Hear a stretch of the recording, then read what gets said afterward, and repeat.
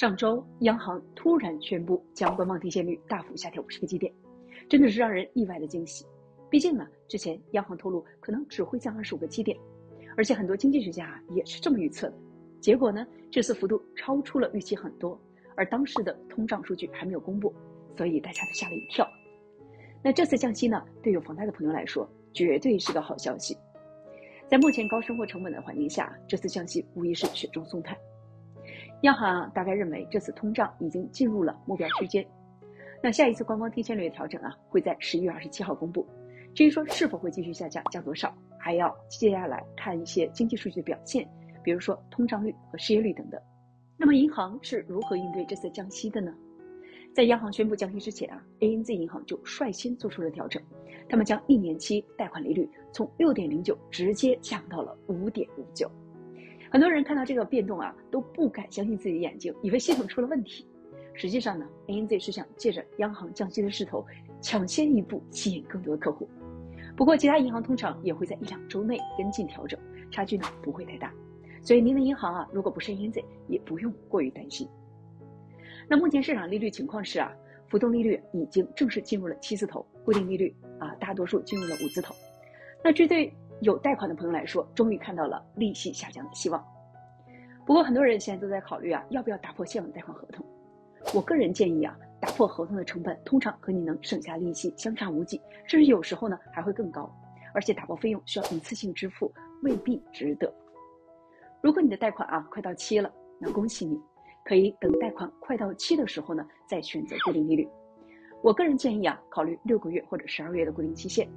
那根据这两个期限之间的这个利率差异来选择，如果六个月的利息啊比十二个月高很多，那可能不太值得选六个月，或者可以把贷款分成两部分，一部分固定六个月，另外一部分呢固定十二个月，这样可以分散风险。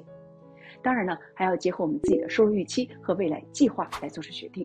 比如说呢，您近期如果有卖房打算，那可能更适合选择浮动利率或者六个月的短期。相反，如果你未来的收入存在不确定因素，选择十二个月的固定利率可能会让你还款更加稳定。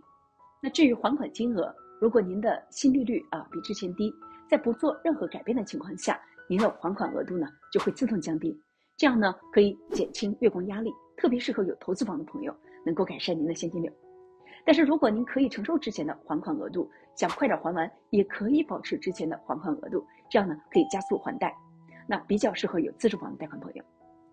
对于即将交割新贷款的朋友呢，我建议在签文件时啊，先选择浮动利率，这样的话呢，就不耽误我们交割。那交割后呢，再考虑固定利率，这样呢，灵活性会更高。最后啊，利息的下降不仅能降低还款成本，还会提高我们的贷款能力。随着市场利率的调整，银行的测试利率呢也会下调。这意味着，即使收入不变，您的贷款额度呢也会增加。不过呢，要注意，随着贷款需求的增长，银行可能会更严格的执行 DTI，也就是说债务收入比这个限制，所以呢，有可能反倒没有现在贷的多。所以，如果您想啊买房，尽早入市。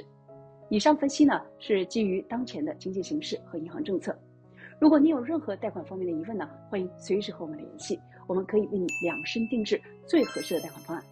好，感谢收看，我们下次再见啦。